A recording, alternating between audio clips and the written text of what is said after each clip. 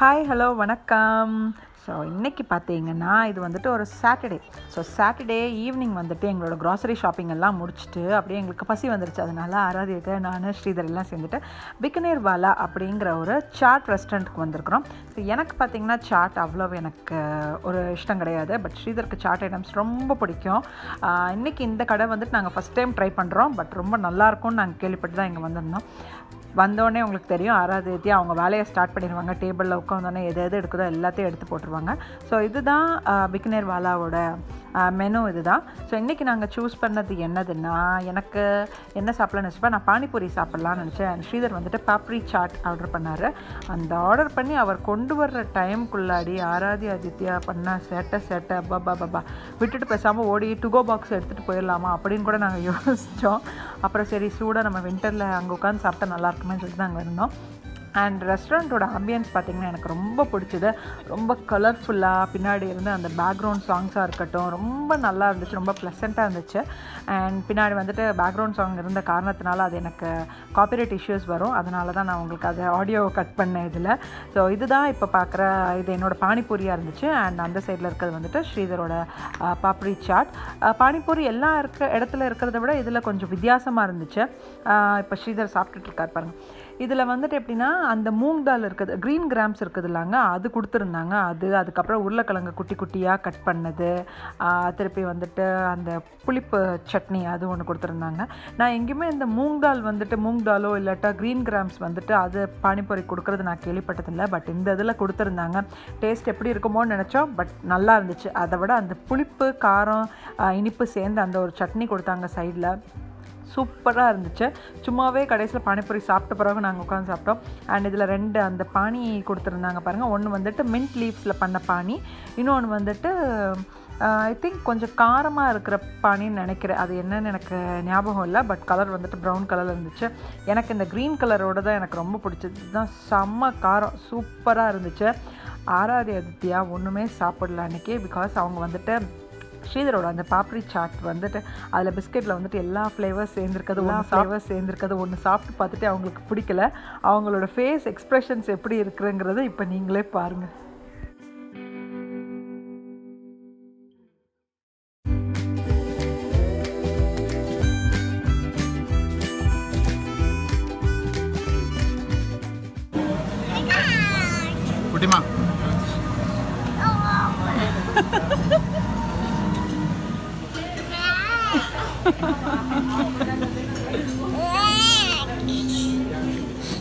Emmy எம்மியாக இருக்கு தங்கம். நீ ஒன்று சாப்பிடு. ஒன்றே ஒன்று சாப்பிடுமா?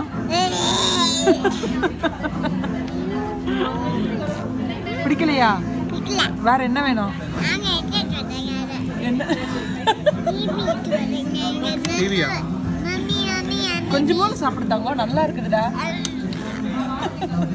இந்தா கொஞ்சம் மணி அவ அதோட ஸ்மெல் பார்த்துட்டு அந்த காரம் இருக்குமோ என்னமோ நினச்சிட்டு அவள் சாப்பிட மாட்டேங்க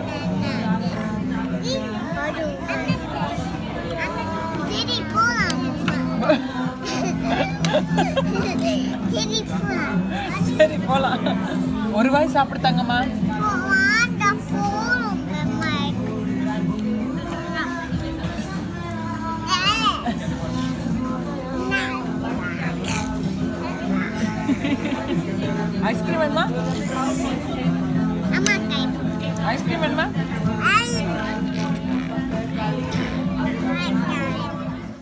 ஓகேங்க. ஸோ நீங்கள் ஆராதி ஆதித்யாவோட ஃபேஸ் எக்ஸ்ப்ரெஷன்ஸ் எல்லாம் பார்த்துட்டு ரொம்ப ஹாப்பியாக இருப்பீங்கன்னு நினைக்கிறேன். அண்ட் இப்போ தான் நாங்கள் வீட்டுக்கு வந்தோம். வந்துட்டு நான் வந்துட்டு க்ராசரி திங்ஸ் எல்லாத்தையும் எடுத்து அரேஞ்ச் பண்ணிவிட்டு ஆராதி ஆதித்யா அப்படியே உட்காந்து ரைம்ஸ் பார்த்துட்டு இருந்தாங்க. அண்ட் இப்போ வந்துட்டு எங்களுக்கு டின்னர் டைம் வரப்போகுது. ஸோ டின்னருக்கு வந்துட்டு என்ன பண்ணலாம்னு யோசிச்சுப்போம். இப்போ தான் நம்ம சாட் ஐட்டம் சாப்பிட்டு வந்ததுக்கப்புறம் எனக்கு திடீர்னு ஒரு பாவ் பாஜி சாப்பிட்டா நல்லா இருக்குமே அப்படின்னு நினச்சேன் சரி இன்றைக்கி பாவ் பாஜி பண்ணலாம். அதுவும் அவன்லெஸ் என்னோட சப்ஸ்கிரைபர்ஸ் நிறைய பேர் கேட்டுட்டு இருந்த மாதிரி கேஸ் ஸ்டாப்பில் அவன் இல்லாமல் இல்லாமல் எக் இல்லாமல் எப்படி ஒரு பாவ் பாஜி பண்ணலாம் அப்படிங்கிற வீடியோ தான் நான் உங்களோட இன்றைக்கி ஷேர் பண்ண போகிறேன் ஸோ வாங்க சீக்கிரம் நம்ம பாவ் பாஜி எப்படி பண்ணலான்னு பார்த்துட்டு கண்டிப்பாக டேஸ்ட் பண்ணி கூட பார்க்கலாம். வாங்க. பாவ் பாஜி பண்ணுறதுக்கு முதல்ல நம்ம பாவ் ரெடி பண்ணிடலாம். ஓகே ஸோ பாவுக்கு என்ன தேவைன்னா முதல்ல வந்துட்டு அந்த பாவுனா அந்த டோ அதாச்சும் அந்த பன் ரெடி பண்ணணும் நம்ம. அதுக்கு நான் என்ன பண்ண போகிறேன்னா ஒரு half teaspoon dry active yeast அதை எடுத்துருக்கிறேன். திருப்பி அப்புறம் ஒரு ரெண்டு டீஸ்பூன் சுகர் ஒரு ஹாஃப் கப் வார்ம் வாட்டர் அதாச்சும் கொஞ்சம் சூடு கொஞ்சம் கம்மியாக இருக்கிற அந்த வார்ம் வாட்டர் இது எல்லாத்தையும் நல்லா நல்லா மிக்ஸ் பண்ணிக்கலாம். ஓகே ஸோ இதில் வந்துட்டு நான் அந்த ட்ரை ஆக்டிவ் ஈஸ்ட் ஆட் பண்ணியிருக்கிறேன் உங்களுக்கு வேணால் நீங்கள் ஃபாஸ்ட் ஆக்டிங் ஈஸ்ட் இருக்கும்லாங்க அது கூட நீங்கள் ஆட் பண்ணிக்கலாம் பட் ரொம்ப சீக்கிரமாக ஈஸ்ட் உங்களுக்கு ஃபார்ம் ஆகிடும் ஸோ இது பார்த்தீங்கன்னா உங்களுக்கு ஃபிஃப்டீன் மினிட்ஸ் ஆகும் ஈஸ்ட் ஃபார்ம் ஆகிறதுக்கு. ஓகே நல்லாவே மிக்ஸ் பண்ணியாச்சு. இன்னும் ஒரு ஃபிஃப்டீன் மினிட்ஸ் வெயிட் பண்ணலாம். ஸோ நம்ம இப்போ பாவ் பாஜியோட அந்த கிரேவி ரெடி பண்ணிடலாம். அதுக்கு என்னென்னு பார்த்தீங்கன்னா மூணு உருளைக்கிழங்கு எடுத்துருக்கிறேன் நான். அதுக்கப்புறம் மட்டர் அதாச்சும் பட்டாணி இருக்குதுல்ல அதை சேர்த்துருக்குறேன். இது ஒரு த்ரீ பை ஃபோர் கப் இருக்கும். ஸோ அதை ஆட் பண்ணியிருக்கிறேன். அண்ட் இதோட கொஞ்சம் உப்பு. இப்போ நான் இதை வந்துட்டு ப்ரெஷர் பண்ண போகிறேன் ரொம்ப சாஃப்டாக ரொம்ப மையாக ப்ரெஷர் ஆகணும். இப்போ உங்களுக்கு ப்ரெஷர் பண்ண வேணாம் அப்படின்னு நீங்கள் நினச்சிங்கன்னா சும்மா ஒரு கடாயில் கூட நீங்கள் என்ன பண்ணலான்னா இந்த உருளைக்கிழங்கை வந்துட்டு ரொம்ப ரஃப்பாக கட் பண்ணிவிட்டு அதோட இந்த மட்டரும் போட்டு கொஞ்சம் தக்காளியை நல்லா கட் பண்ணிக்கோங்க. கட் பண்ணிவிட்டு அதில் கொஞ்சம் வாட்டர் ஆட் பண்ணி சால்ட் ஆட் பண்ணி அப்படி கூட நீங்கள் வந்துட்டு குக் பண்ணலாம். வெறும் ஓப்பன் கடாயில். இப்போ நான் வந்துட்டு ப்ரெஷர் குக்கரில் தான் பண்ணுறேன் ஓகே ஸோ இப்போ இதை க்ளோஸ் பண்ணி பார்த்தீங்கன்னா நான் வந்துட்டு ஒரு முந்நூறு கிராம் மைதா மாவு எடுத்திருக்கிறேன். அண்ட் இதோட கொஞ்சம் அண்ட் இதோட கொஞ்சம் உப்பு சேர்க்குறேன் நான். இதை நல்லா மிக்ஸ் பண்ணிக்கலாம். மைதா மாவு நான் வந்துட்டு ஒரு சீவர் வச்சுட்டு சீவ் பண்ணிட்டு தான் இதில் போட்டிருக்கிறேன். ஸோ நீங்களும் அதை மாதிரியே போட்டுக்கோங்க. ரெண்டு டேபிள் ஸ்பூன் எண்ணெய்.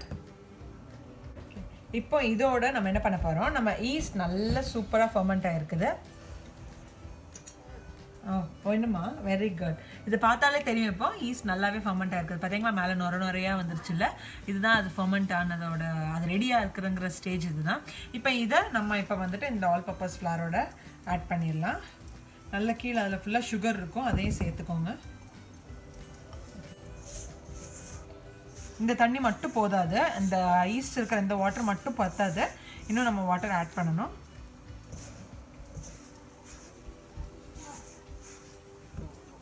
போயிட்டியா சார் இப்போ கொஞ்சம் வாட்டர் ஆட் பண்ணிக்கிறேன்.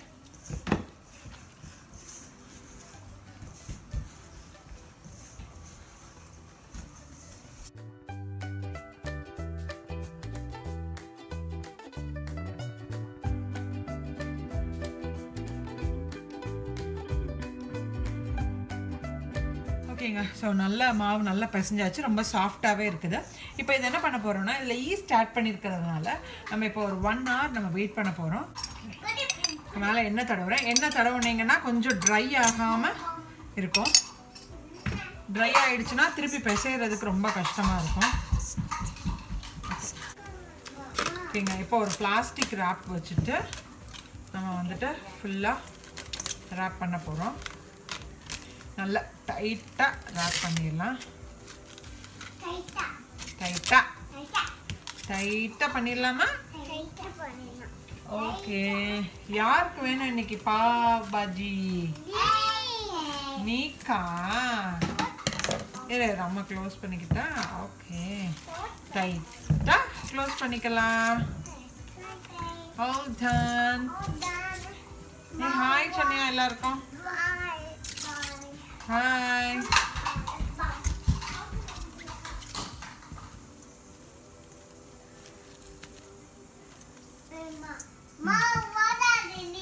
ஓகேங்க ஸோ இப்போ ஒரு ஒன் ஹவர் நம்ம வெயிட் பண்ணலாம். அதுக்கப்புறம் நம்ம டோ எப்படி ரெடியாக இருக்குன்னு பார்க்கலாம். இப்போ வந்துட்டு பாவ் பாஜியோட கிரேவி ரெடி பண்ணிடலாம். அதுக்கு ரெண்டு டேபிள் ஸ்பூன் பட்டர் போட்டிருக்கிறேன். இதோடையே வெங்காயம் கட் பண்ணி வச்சுருக்கிறேன். ஒரு அரை வெங்காயம்.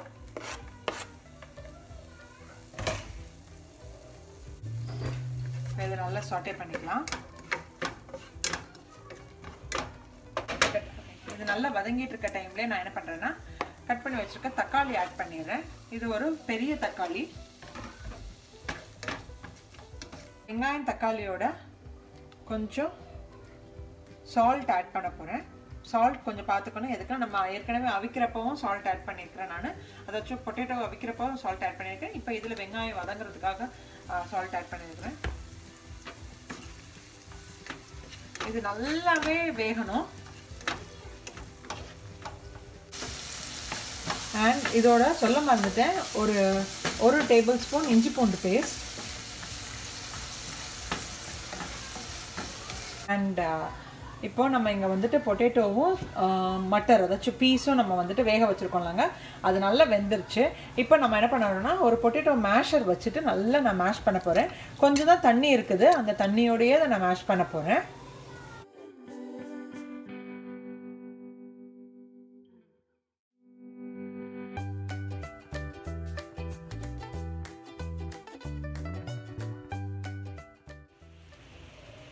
இது நல்லா வதங்கிடுச்சு. இதோடைய கொஞ்சம் மஞ்சள் பொடி கொஞ்சம் தான். அப்புறம் கொஞ்சம் red chilli powder Kashmiri red chilli powder இருந்தால் இன்னும் நல்லாயிருக்கும் இதுவும் நல்லா வதங்கிருச்சு. இப்போ இதோட நம்ம என்ன பண்ண போகிறோம்னா நம்ம வந்துட்டு பொட்டேட்டோ அதை உருளைக்கிழங்கையும் பீஸையும் நம்ம நல்லா மேஷ் பண்ணி வச்சுருக்கோம்ல அதை இதோட ஆட் பண்ணிடலாம். ஸோ இதில் ஆட் பண்ணியாச்சு. இப்போ இதில் கொஞ்சம் வாட்டரும் சேர்த்துருக்குறேன். இப்போ இது ரெண்டுத்தையும் நல்லா மிக்ஸ் பண்ணிடலாம்.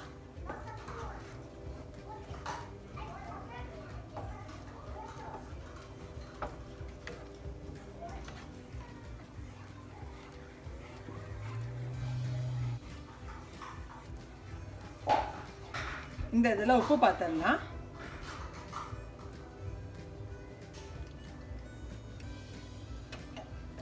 உப்பு தேவை தான் கொஞ்சம் உப்பு போட்டுறேன்.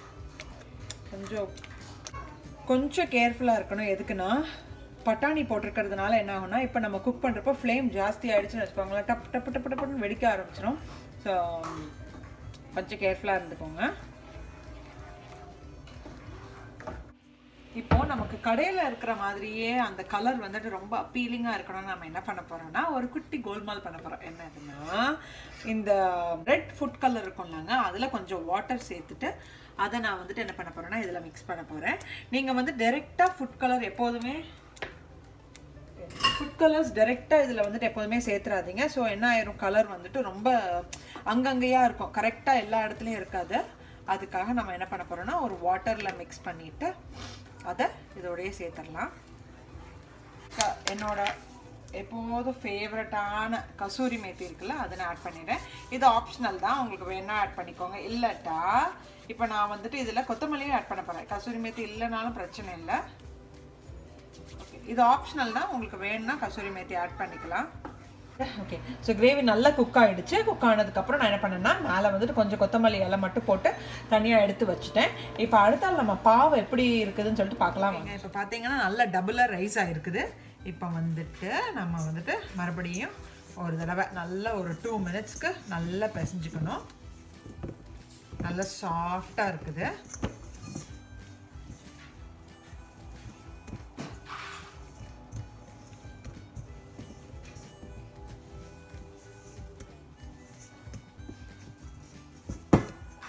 நல்ல ஒரு டூ மினிட்ஸ்க்கு இன்னும் சாஃப்டாக நல்லா பிசைஞ்சுக்கணும். ஓகே மாவு பார்த்தீங்கன்னா எவ்வளோ லூஸாக இருக்குது பாருங்கள் இந்த அளவுக்கு இருக்கணும் நம்ம பிசைகிறதும் நமக்கு அது ஊறுற டைமும் கரெக்டாக இருக்கணும். ஓகேங்க இப்போ இதை வந்துட்டு நைன் பீசஸாக கட் பண்ண போகிறோம் நம்ம.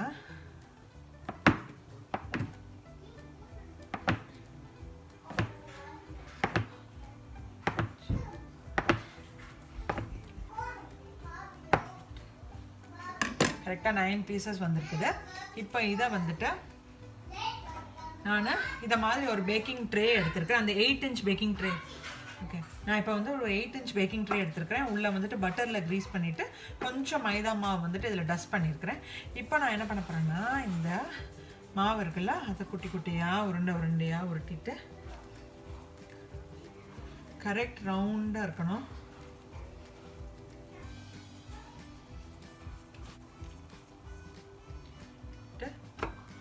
ஒன்று ஒன்றா இதில் அரேஞ்ச் பண்ண போகிறோம்.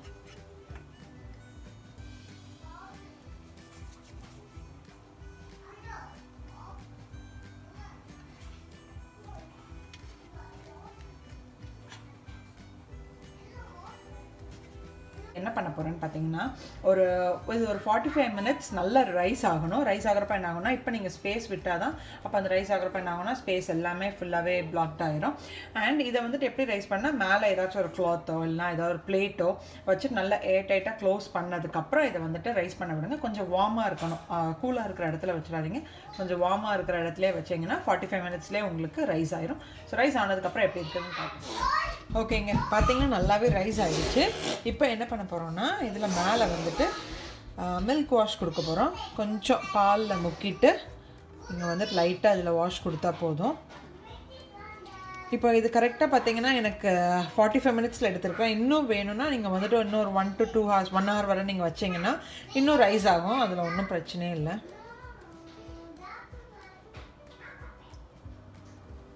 ஸோ நம்ம கேஸ் ஸ்டாப்பில் பண்ணுறது எப்படின்னு பார்த்தீங்கன்னா இப்போ நான் எடுத்துருக்கிறது வந்துட்டு எயிட் இன்ச் பேக்கிங் ட்ரே இல்லை.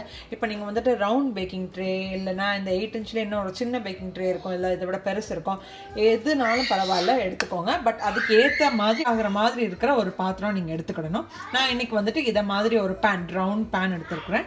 ஸோ இந்த சாஸ் பேனில் நான் என்ன பண்ணியிருக்கேன் டிரெக்டாக நீங்கள் வந்துட்டு இந்த பேக்கிங் ட்ரேயை வந்துட்டு இதில் வச்சிடக்கூடாது ஓகே இப்போ வந்துட்டு ஒரு குட்டி பவுலோ இல்லாட்டா அந்த ஃபிக்ஸபிள் ஸ்டாண்ட்ஸ் இருக்குது உங்களுக்கு. உங்களுக்கு அந்த ஸ்டாண்டோ இல்லாட்டா இது மாதிரி ஏதாச்சும் குட்டி சில்வர் பவுல்ஸ் அது மாதிரிலாம் இருக்கும்ல அதை நீங்கள் வச்சுட்டு அதுக்கு மேலே அந்த பேக்கிங் ட்ரே வைக்கலாம். இப்போ நான் என்ன பண்ணியிருக்கேன்னா இந்த மாதிரி ஒரு பிளேட் எடுத்துருக்குறேன். இந்த பிளேட் மேலே இதை வச்சாச்சு. வச்சுட்டு நம்ம வந்துட்டு இதை க்ளோஸ் பண்ண போகிறோம் சைடில் பார்த்தீங்கன்னா எந்த ஒரு கேப் இல்லாமல் கரெக்டாக நீங்கள் ஃபிக்ஸ் பண்ணுற மாதிரி உள்ள லிட் எடுக்கணும். ஸோ எடுத்தாச்சு. அண்ட் ஃப்ளேம் வந்துட்டு ஜாஸ்தியில் தான் வச்சுருக்கிறேன். ஸோ இது குக்கிங் டைம் பார்த்தீங்கன்னா எப்படியும் ஒரு twenty five to thirty minutes இல்லைனா ஒரு தேர்ட்டி ஃபைவ் மினிட்ஸ் கூட ஆகலாம்.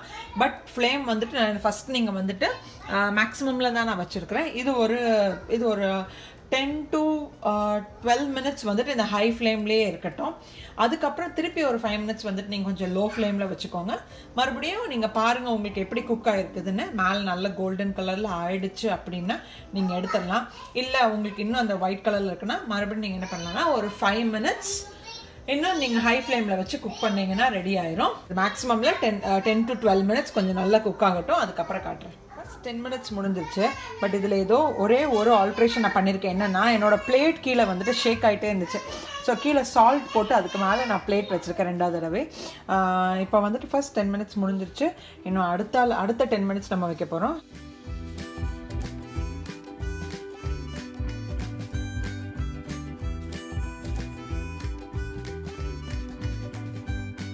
டுவெண்ட்டி ஃபைவ்லேருந்து தேர்ட்டி மினிட்ஸ் ஆயிருக்கு குக் ஆகிறதுக்கு. நம்ம பாவ் சூப்பராக ரெடி ஆகிருக்குது நான் வெளியே எடுத்து காட்டுறேன் பாருங்கள் அதாச்சும் ஃபுல் லேயர் அந்த ஸ்கொயர் ஷேப் லேயரோட ஒன்று கூட அப்படியே டிஸ்டர்ப் ஆகவே இல்லை. ரொம்ப நீட்டாகவே வந்துச்சு. கொஞ்சம் பொறுமையாக இருக்கணும் பிகாஸ் நீங்கள் அவனில் வைக்கிறீங்கன்னா கொஞ்சம் சீக்கிரமாகவே ரெடி ஆயிரும். அண்ட் அவனில் வந்துட்டு நீங்கள் திருப்பி திருப்பி ஓப்பன் பண்ணி பார்க்கணுங்கிற அந்த அவசியம் இருக்காது. பட் கேஸ் ஸ்டாப்பில் வைக்கிறப்ப வந்துட்டு கொஞ்சம் நீங்கள் இடையில இடையில ஒரு தடவை ஓப்பன் பண்ணி பார்க்குறது ரொம்ப நல்லது. அண்ட் இந்த பன் பார்த்தீங்கன்னா அவனில் வந்து வைக்கிறவங்களோட டெம்பரேச்சர் இது எல்லாத்தையும் அதுவும் நான் என்னோடய டிஸ்கிரிப்ஷன் பாக்ஸ் அதுக்கப்புறம் கமெண்ட் லிஸ்ட்டில் கூட கண்டிப்பாக நான் பின் பண்ணுறேன் ஸோ உங்களுக்கும் யூஸ்ஃபுல்லாக இருக்கும். இப்போ நான் இதை அப்படியே டேர்ன் பண்ணி காட்டுறேன். எப்படி இருக்குது பாருங்கள்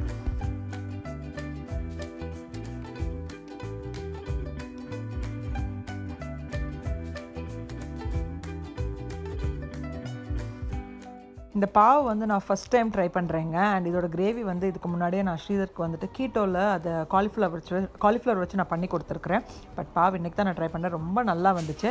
ஸோ ஃபஸ்ட் மூணு செக்ஷன் வந்துட்டு என்னோடய ஃப்ரெண்டு கொடுத்து விட்டுட்டேன். அதுக்கப்புறம் மிச்சம் இருக்க தான் காட்டுறேன். இப்போ பாருங்கள் அது எவ்வளோ சாஃப்டாக இருக்குதுன்னு பாருங்கள் கீழே இருக்க லேயர் மட்டும் என்ன ஆகும்னா கொஞ்சம் கிறிஸ்பியாக இருக்கும். அண்ட் மேலே இருக்கிறது அவ்வளோ சாஃப்டாக இருந்துச்சு. இப்போ எங்களோட டின்னர் டைம் வந்துருச்சு. அண்ட் பாவ் பாஜி சாப்பிட்றதுக்கு செம்ம டெம்டிங்காக இருக்குது எங்களுக்கு. அண்ட் இப்போ நான் பிளேட்டில் எப்படி அரேஞ்ச் பண்ணியிருக்கேன் பார்த்தீங்கன்னா ரெண்டு பாவ் வச்சுருக்கோம் அண்ட் அதோட கிரேவி ப்ளஸ் கொஞ்சம் அந்த பாவ் பாஜியை வந்து இன்னும் கொஞ்சம் டேஸ்டி ஆக்குறது எதுன்னு பார்த்தீங்கன்னா அந்த ஆனியன்ஸ் அண்ட் லெமன் தான். கடையிலலாம் ரெஸ்டாரண்ட்லலாம் அப்படி தான் கொடுப்பாங்க. ஸோ ஆனியன்ஸ் பார்த்தீங்கன்னா குட்டி குட்டியாக கட் பண்ணி அண்ட் லெமன் கூட வச்சுருக்குறோம். ரொம்ப டேஸ்டியாக இருந்துச்சு. எனக்கு ரொம்ப பிடிச்சது. பட் கிரேவியில் மட்டும் கொஞ்சம் காரம் எனக்கு ஜாஸ்தியான மாதிரியே இருந்துச்சு. பட் ரொம்ப ரொம்ப எம்மியான ஒரு பாவ் பாஜி. கண்டிப்பாக நீங்களும் வீட்டில் ட்ரை பண்ணி பாருங்கள்